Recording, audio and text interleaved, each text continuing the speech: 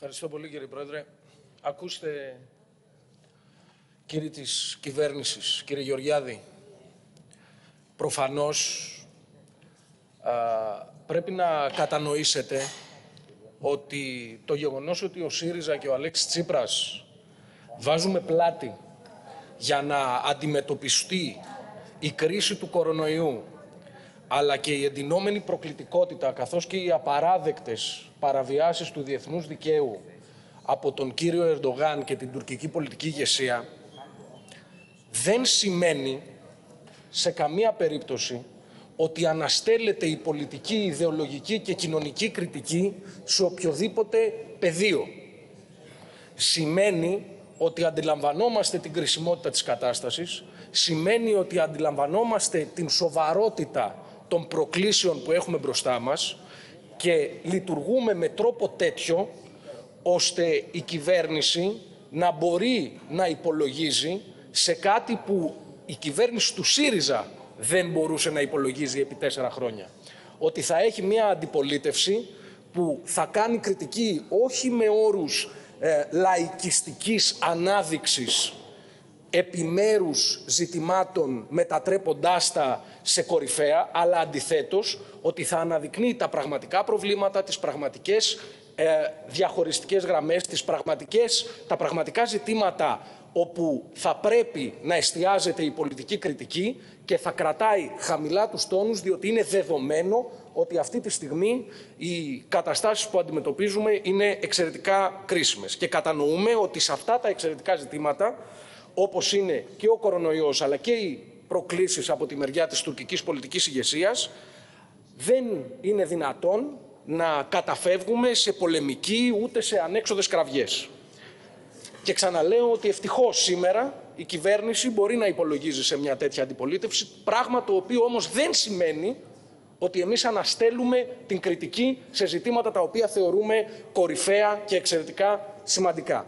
Προφανώς λοιπόν ο κύριος Γεωργιάδης προηγουμένως με την γνωστή του α, έπαρση, ένταση και ίηση ε, φαίνεται να μην κατανόησε την κριτική που ασκήθηκε από τον ΣΥΡΙΖΑ και από τον κύριο Γιώργο Τσίπρα και γι' αυτό επέλεξε να απαντήσει σε αυτούς τους, με αυτούς τους υψηλότατους ε, τόνους που ούτως ή άλλως τους συνηθίζει όταν βρίσκεται σε δύσκολη θέση. Να του εξηγήσω λοιπόν και εγώ με τη σειρά μου τι ήταν αυτό το οποίο του καταλόγησε ο κύριος Γιώργος Τσίπρας προηγουμένως. Του καταλόγησε το εξής, ότι τους τρεις-τέσσερις τελευταίους μήνες, παρά το γεγονός ότι είχε εικόνα της επιβράδυνσης της ελληνικής οικονομίας, παρά το γεγονός ότι γνώριζε πως κεντρικοί δείκτες της ελληνικής οικονομίας, πέρα από το δείκτη εμπιστοσύνης, δεν βαδίζουν έτσι όπως θα υπολόγιζε η κυβέρνηση της Νέας Δημοκρατίας σύμφωνα με το προεκλογικό της αφήγημα ότι περίπου έρχεται επενδυτική έκρηξη μετά την υποτιθέμενα καταστροφική για την ελληνική οικονομία κυβέρνηση του ΣΥΡΙΖΑ, παρά λοιπόν το γεγονός ότι γνώριζε ότι η ελληνική οικονομία δεν βαδίζει με εκείνους τους ρυθμούς που ενδεχομένως ο ίδιος θα επιθυμούσε να βαδίζει, συνέχιζε να αναπαράγει ένα αφήγημα περί απογείωσης της ελληνικής οικονομίας, συνέχιζε να αναπαράγει ένα αφήγημα περί επενδυτικής έκρηξης, συνέχισε να αναπαράγει ένα αφήγημα περί αλλαγής σελίδας που επί της ουσίας δημιουργεί τους όρους για την επιτάχυνση όλων των οικονομικών μεγεθών, πράγμα το οποίο ήρθε η Ελστάτ και στα προσωρινά της στοιχεία το κατέριψε ολοκληρωτικά. Και το θέμα είναι για ποιο λόγο συνεχίζατε να αναπαράγετε αυτή την ρητορική ενώ γνωρίζετε, γνωρίζατε ότι τα πράγματα για α, τους ρυθμούς ανάπτυξης δεν βάδιζαν με τον τρόπο τον οποίο θα επιθυμούσατε. Αυτή ήταν η κριτική που ασκήθηκε. Και ο κύριος Γεωργιάδης ήρθε εδώ, μάλιστα είδαμε σε μέσα μαζικής ενημέρωσης να αναφέρεται ε, ότι η μείωση του ρυθμού ανάπτυξης στο τέταρτο τρίμηνο ήταν αποτέλεσμα του κορονοϊού, δεν ξέρω αν το είδατε αυτό κύριε Υπουργέ, σε κανάλι φύλλα προσκύμενο στην ε, παράταξή σας, πράγμα το οποίο βεβαίως είναι ολοκληρωτικά παράλογο, καθώς όπως θα γνωρίζετε, το πρώτο κρούσμα του κορονοϊού εμφανίστηκε στην Κίνα, αν δεν κάνω λάθος, τέλη Δεκεμβρίου του 2019. Πράγμα το οποίο σημαίνει ότι ο κορονοϊός δεν θα μπορούσε να έχει παίξει καθοριστικό ρόλο στην επιβράδυνση της ελληνικής οικονομίας επί των δικών σας μερών, καθώς δεν υπήρχε. τώρα,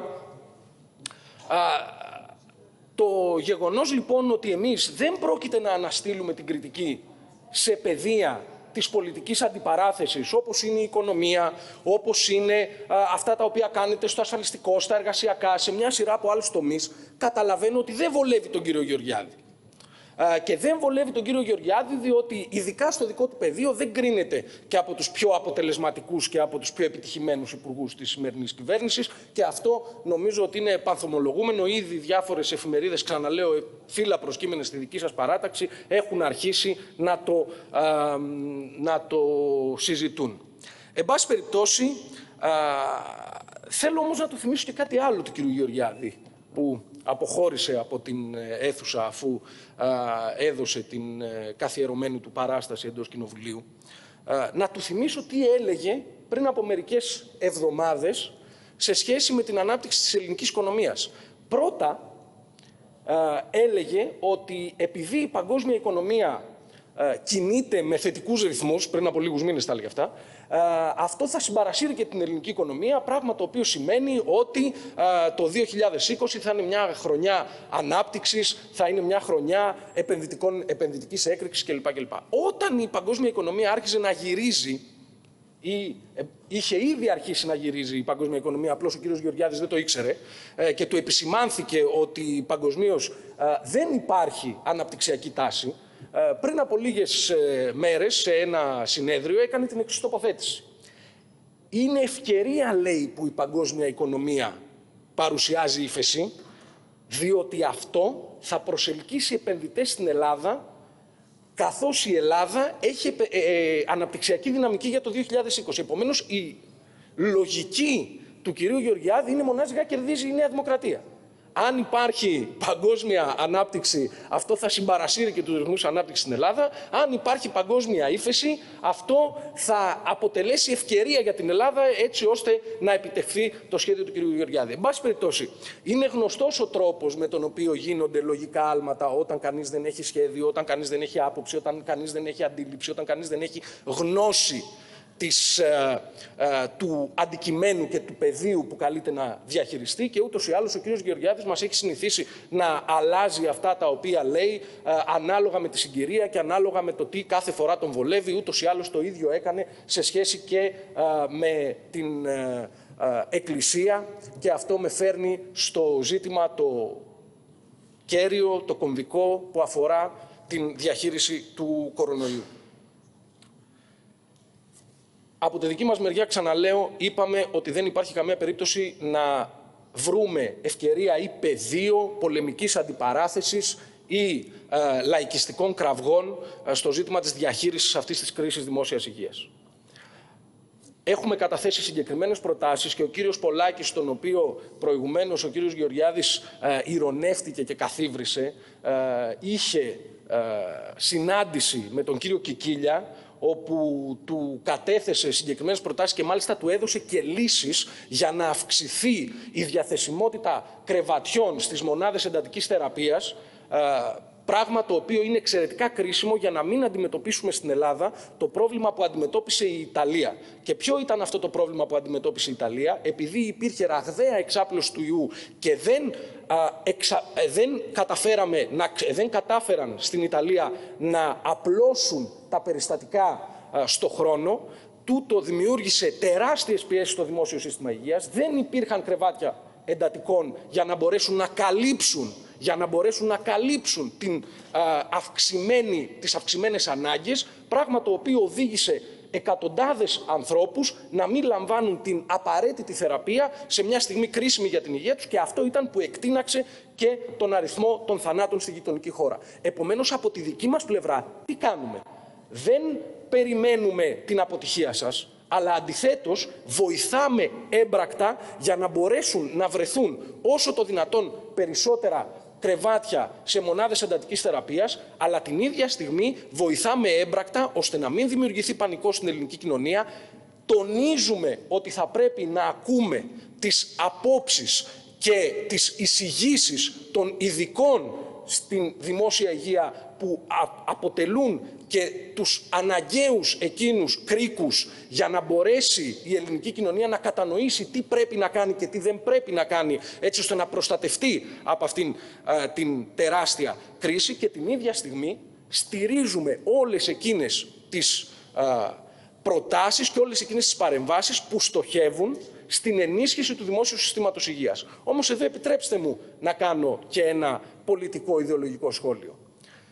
Η Νέα Δημοκρατία ήταν εκείνη η οποία όλο το προηγούμενο διάστημα διαφήμιζε την ιδιωτική υγεία, διαφήμιζε την ανάγκη, την ανάγκη να δοθεί και στο χώρο της υγείας πεδίο δόξης λαμπρό για τους επιχειρηματίες που θέλουν να επενδύσουν, όπως έχει κάνει βεβαίως σε όλα τα κοινωνικά πεδία, είτε μιλάμε για την εκπαίδευση, είτε μιλάμε για την κοινωνική ασφάλιση, είτε μιλάμε για οτιδήποτε. Σήμερα, σήμερα, σήμερα που υπάρχει η κρίση του δημόσιου, του, η κρίση η, α, δημόσιας υγείας, κατανοείτε ακόμα και εσείς, η σκληρή φιλελεύθερη παράταξη στη χώρα, ότι δεν υπάρχει δυνατότητα αντιμετώπισης αυτής της κατάστασης παρά μόνο μέσω της ενίσχυσης του δημόσιου συστήματος υγείας. Και εμείς λέμε ότι ορθώς κάνετε και προωθείτε την πρόσληψη 2.000 συμβασιούχων γιατρών, όμως αυτό δεν αρκεί. Πρέπει να αυξηθεί ο προϋπολογισμός των νοσοκομείων, πρέπει να αυξηθούν τα χρήματα για υλικοτεχνική υποδομή, πρέπει να υπάρξουν και μόνιμες προσλήψεις στην υγεία και νομίζω ότι αυτό είναι το απαραίτητο στοιχείο για να αντιμετωπίσουμε μια κρίση η οποία δεν θα είναι κρίση ενός μήνα ή δύο μηνών. Θα είναι μια κρίση η οποία ενδεχομένως να πάρει ακόμα μεγαλύτερη διάρκεια. Και αυτό πρέπει να το έχουμε στο μυαλό μας και γι' αυτόν ακριβώς το λόγο εμείς εισηγούμαστε μια σειρά από πολύ πιο γενναίες προτάσεις για τη στήριξη του δημόσιου συστήματος υγείας. Θέλω να κλείσω με την χθεσινή δήλωση του κ. Μητσοτάκη. Ο κ. Μητσοτάκης χθες έκανε ένα βήμα προς τον ορθολογισμό.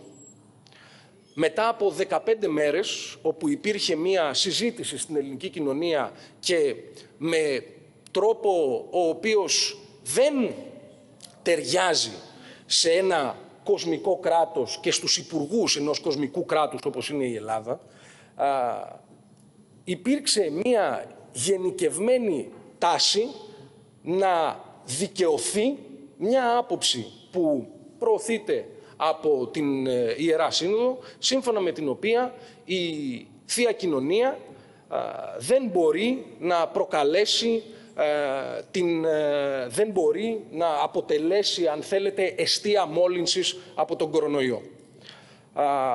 μάλιστα ο ίδιος ο κύριος Γεωργιάδης είχε πει ότι όσοι είναι άπιστοι δεν δικαιούνται, περί να ομιλούν, ε, για, δεν δικαιούνται να ομιλούν για αυτά τα ζητήματα, περί αυτών των ζητημάτων. Αντιθέτως αυτά είναι ζητήματα που αφορούν αποκλειστικά και μόνο τους πιστούς και την, και την Εκκλησία. Να του πω ότι δεν είναι έτσι τα πράγματα. Σε μία δημοκρατία και σε ένα κοσμικό ουδετερόθρησκο κράτος όπως είναι η Ελλάδα, αυτός ο οποίος είναι υπεύθυνος για τη δημόσια υγεία είναι η κυβέρνηση και η δημόσια διοίκηση. Δεν είναι κανένας άλλος θεσμός. Και είμαστε υποχρεωμένοι όλοι ανεξαιρέτως, επειδή εδώ δεν τίθεται ζήτημα ατομικής επιλογής, δεν τίθεται ζήτημα ατομικού δικαιώματος.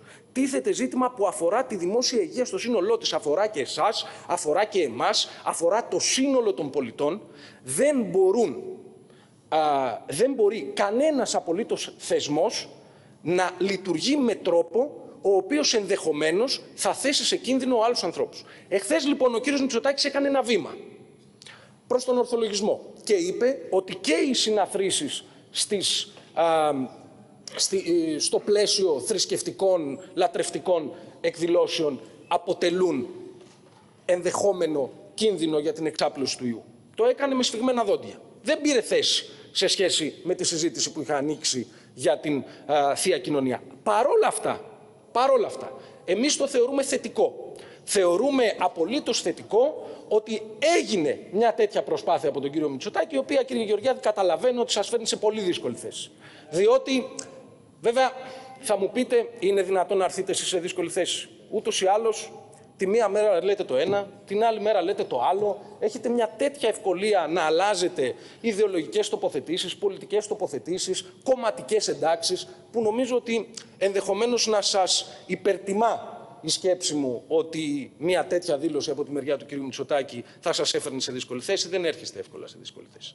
Λοιπόν, εν πάση περιπτώσει, από τη δική μας πλευρά, δεν θα υπάρξει πολεμική. Δεν θα υπάρξουν λαϊκιστικές κραυγές. Θα στηρίξουμε όλες εκείνες τις πρωτοβουλίες της κυβέρνησης που θα στοχεύουν στην ενίσχυση του δημόσιου συστήματος υγείας. Την ίδια στιγμή θα είμαστε εδώ για να αντιπαρέλθουμε και να ανταπεξέλθουμε στην πρόκληση Ερντογάν, στις παραβιάσεις του διεθνούς δικαίου, στις παραβιάσεις κυριαρχικών δικαιωμάτων της χώρας. Όμως, όμως, αυτό δεν σημαίνει ότι αναστέλλεται η κριτική πρώτον και δεύτερον, δεν σημαίνει ότι θα ανεχθούμε συμψηφισμούς ή ταυτίσεις όπως αυτές που έκανε πριν από λίγες μέρες ο κυβερνητικός εκπρόσωπος χαρακτηρίζοντας τον ΣΥΡΙΖΑ δούριο ύπο του Ερντογάν επειδή σας κάνουμε κριτική για δικές σας απαράδεκτες ενέργειες στη διαχείριση του προσφυγικού. Διότι είναι ένα πράγμα οι παραβιάσεις κυριαρχικών δικαιωμάτων και οι παραβιάσεις του διεθνούς δικαίου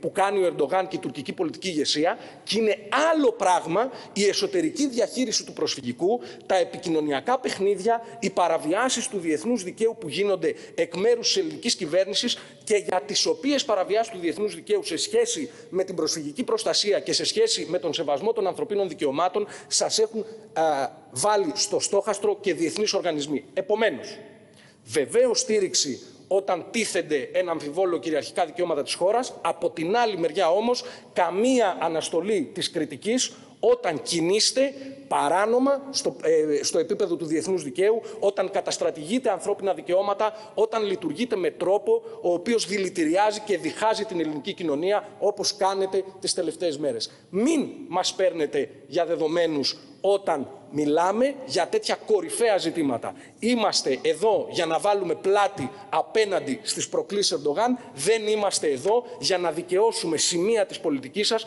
τα οποία είναι απολύτως επικίνδυνα και γυρίζουν τη χώρα πάρα πολλά χρόνια πίσω. Ευχαριστώ πολύ. Λοιπόν, θα δώσουμε το λόγο στον κύριο Χίτα.